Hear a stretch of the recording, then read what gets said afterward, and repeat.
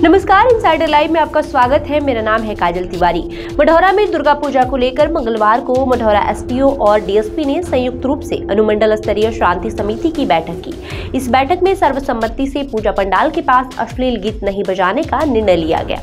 बैठक में SDO doctor प्रेरणा सिंह ने साफ़ शब्दों में कहा कि कोर्ट के आदेश के आलोक में डीजे बजाने पर पूर्ण तरीके से प्रतिबंध लगाया गया है। अगर किसी पूजा समिति के द्वारा इसका उल्लंघन किया गया तो उसके खिलाफ कानूनी कार्रवाई की जाएगी। फ़र्स्ट पॉइंट है कि लाइसेंस अनिवार्य है और हर हाल में सभी समिति को आप लोग लाइसेंस देंगे और लाइसेंस के बाद ही वो किसी प्रकार का आयोजन हाँ, लाइसेंस में ध्यान रखिएगा बुज़ुर्ग के नाम पर लाइसेंस ठीक है जब लाइसेंस आप देंगे तो उसमें 20 से 25 सेकेंड पॉइंट है कि 20 से 25 ऐसे वॉलेंटियर्स को आप चिन्हित कर लेंगे इनसे ले लेंगे, उनका वेरिफिकेशन कर लेंगे।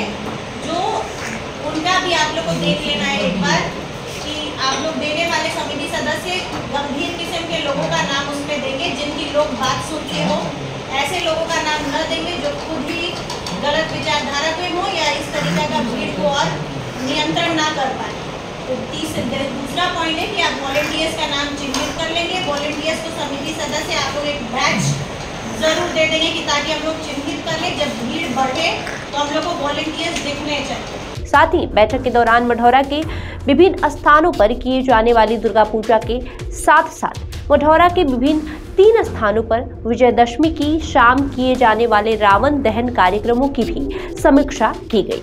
इस दौरान कर्णपुरा में रावण दहन के लिए रोड से पीछे हटाने का निर्णय लिया गया। इस बैठक में दुर्गा पूजा के दौरान चक्कदारा उल्हनपुर और बस स्टैंड आदि भीड़ भाड़ वाले स्थान पर विशेष निगरानी रखने का निर्देश डीएसपी नरेश पासवान ने थानाध्यक्ष को दिया।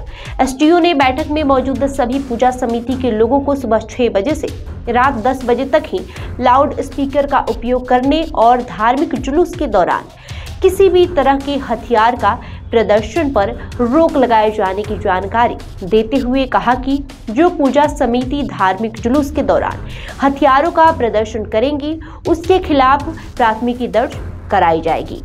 दुर्गा पूजा के दौरान बड़े वाहन तथा ट्रक आदि के मढ़ौरा शहर में प्रवेश पर रोक रहेगी और सभी पूजा पंडाल को ज़रूरी लाइसेंस अनिवार्य रूप से लेना होगा। इस बैठक में एसटीओ और डीएसपी के अलावा बीडीओ, सीओ, थानाध्यक्ष और विभिन्न पूजा समितियों के प्रधानों के साथ साथ कई गणमान्य लोग मौजूद थे। बहरहाल, आपका इस खबर को लेकर क्या कहना है, हमें कमेंट करके ज़रूर बताएँ। धन्यवाद।